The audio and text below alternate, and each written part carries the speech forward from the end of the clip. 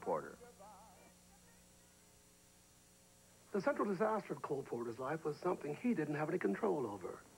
He was thrown from a horse at the age of 46, and he was to be a cripple for the rest of his life, enduring 35 operations, constant pain, and the stigma of wearing braces and using canes and wheelchairs. Cole Porter, the man who popularized the French Riviera, and the first man to drive a speedboat through the canals of Venice, was reduced to being carried from one room to another by his valet and a male nurse. He, he was thrown by the horse, and then uh, the horse rolled over on him and broke one leg, and then, as horses often do, this is a common accident, rolled over the other way and broke the other leg. The doctors were all unanimous in their opinion that they should be amputated. The bones were just ground up, so to speak, from the, the horse rolling on them. Actually, he and Linda had separated at that time. She came back, and she and Kate together uh, decided his fate. They decided that he wouldn't have an amputation and that they would nurse him back to health. And what it meant was that for 30 odd years, he was not in health, and uh, they were wrong. Well, for anyone who was very chic and very smart in his way of living, to uh, suffer what he felt was the indignity of having to be carried from one room to the other and uh, cover over what had been his legs with a robe. Um, must have been a great suffering in addition to the pain. And yet, I never heard a single word of complaint or a desire to get sympathy. He tried to live his life as he had lived it before the accident. Well, the first Broadway show I ever did was called Leave It to Me, and of course was the Cole Porter show. He was always in the back of the house in his wheelchair. I was one of five dancers who did specialty numbers, and I had the great privilege of standing with Mary Martin when she made that big hit, My Heart Belongs to Daddy. Yes, my heart belongs to Daddy, so I simply couldn't be bad. Yes, my heart belongs. Dad, dad, dad, dad, dad, dad, dad, daddy, yeah. So I want to warn you, laddie, though I think you're perfectly swell, that my heart belongs to Daddy, and my daddy treats it so well.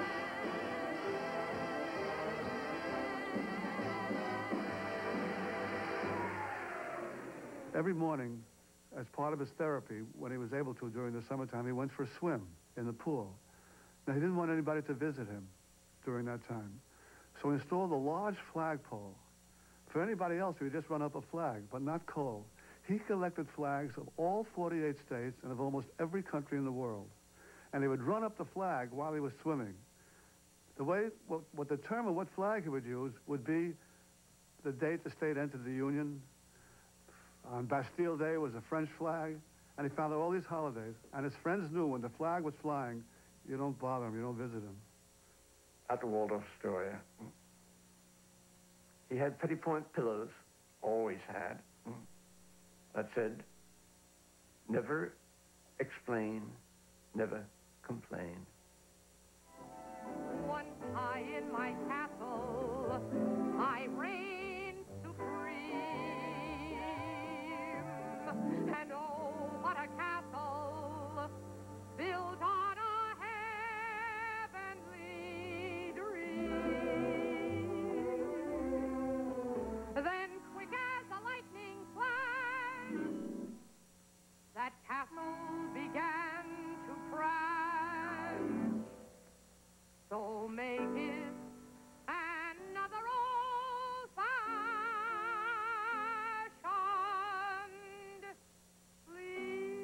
the accident on, uh, his his body became a battleground, which the doctors fought over, and he was and he, he he was on one drug after another.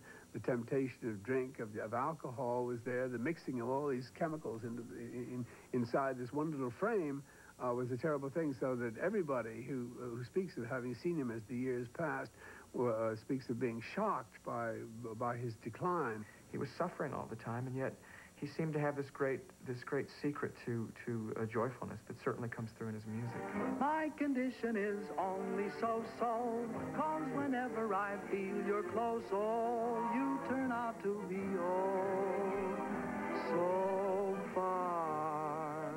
Fred Astaire uh, was gifted young man who shared with Cole Porter a small, finely tuned uh, body, a face that was grotesque and yet pleasing, determined to move up socially. They shared uh, the same ambitions, the same uh, aspirations in respect to life.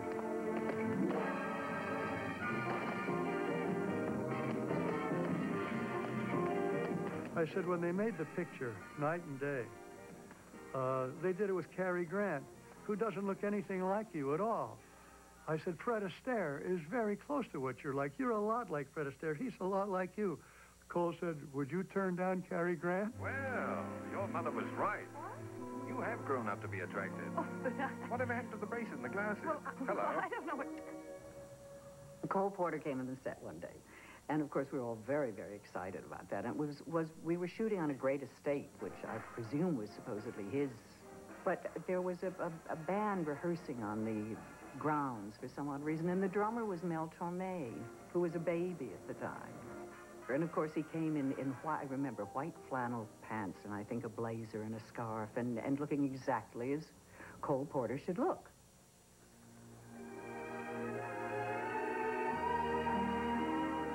The picture was, was fantasy. And there were certain aspects of the story which at that time they couldn't do. There was always the double or triple life going on. And uh, toward the end of his life, what was sad and, and, and very touching was uh, when Linda had long since given up going to Hollywood with him. Uh, uh he likes to surround himself with these golden young men by the swimming pool. Linda had her favorite couturier, Mame Bocher, to do her clothes. She also had serious lung trouble and was in an iron lung most of the time in her apartment at the Waldorf Astoria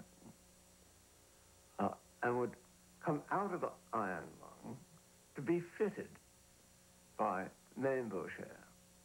She apparently lived quite contentedly, although she was an invalid all through those years. As the years went by, as his pain increased, as his physical maladies increased, perhaps the melodies changed, and, and his desire for escapism increased. The! He had sort of grown up with uh, the circus that uh, had wintered at, uh, in, at Peru in a farm that was uh, adjoining the uh, Wesley farm. He even made his own circus in a way. A lot of his music concerns the circus. Be a clown, be a clown, all the world loves the clown. Show him tricks, tell jokes, and you'll only stop with top folks. Huge baggy pants, and you'll ride the road to romance. A butcher or a baker, ladies never embrace. A barber for a ball would be a social disgrace. They all will come to call if you can fall on your face. Be a clown, be a clown, be a clown.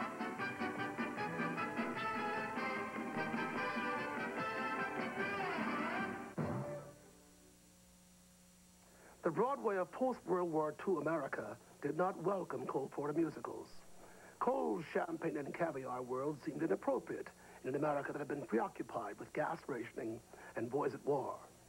For the first time in a long time, Cole Porter had trouble raising money for a show, a musical version of Shakespeare's The Taming of the Shrew. It was to be his greatest triumph.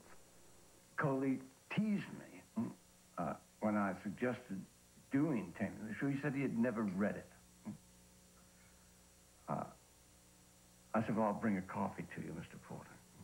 The following day, he called me and said, well, perhaps we could spend next four or five days in the country in Williamstown.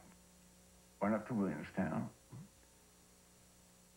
Out of those four or five days, he wrote, I think, three numbers. Well, it took him about a year to raise the money for, for Kate. Because, you know, Mr. Porter hadn't had um, you know, any great success in the past few years before Kiss Me Kate on Broadway. And now the opening and now the show. It is in Boston, a Boston Boston. A ten days folks to say hello. And now the opening of another show. And He had called New York and said, I found my Kate. And they said, who is it? He said, Patricia Morrison. They said, Patricia Morrison, you couldn't hear her beyond the third row.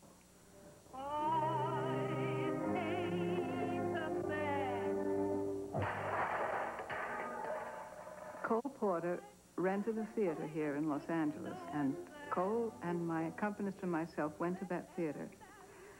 And he climbed all over the balcony with his bad leg while I sang from the stage.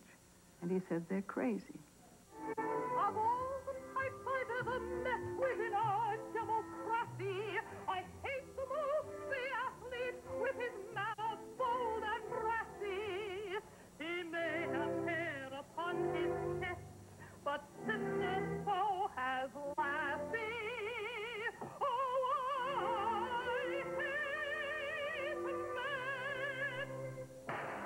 I remember he would come to rehearsals at the New Amsterdam, and he's with a cane on, on the arm of a young man, and he'd sit down, elegantly dressed, and put his bad leg up on a chair, and he had a little gold whistle around his neck.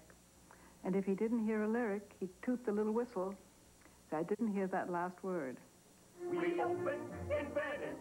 We next play Verona. Then on to Cremona. La Palette in Pomona. Our next show is Parma. Let's go be multi menace. Then Mantua, then Padua. Then we open again. Where? We open in Venice. We all knew we were we were one step away from that final moment, and we were all hoping, you know, that we were going to do our best.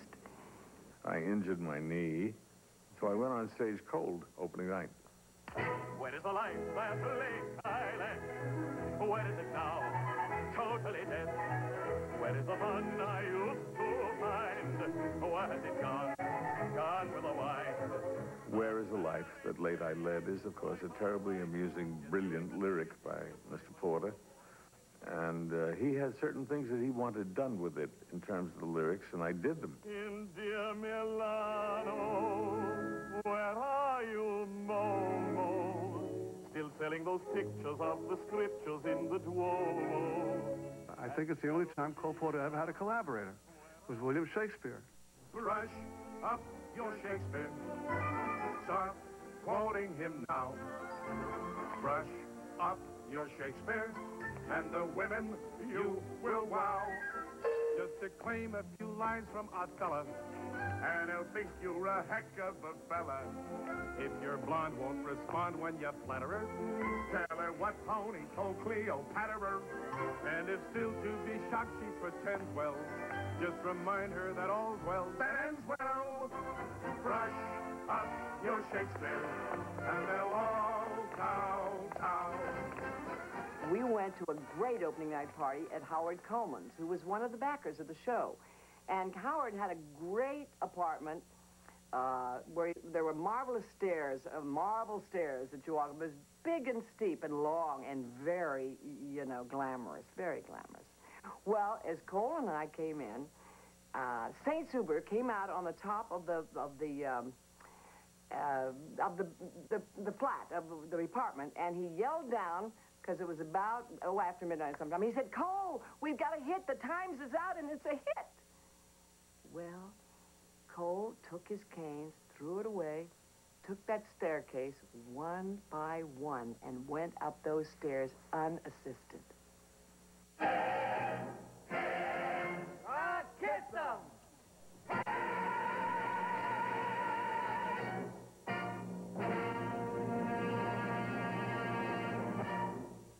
As he achieved great success during the last uh, creative decade of his life, from 1948 to 58, he also went through some terrible personal tragedies.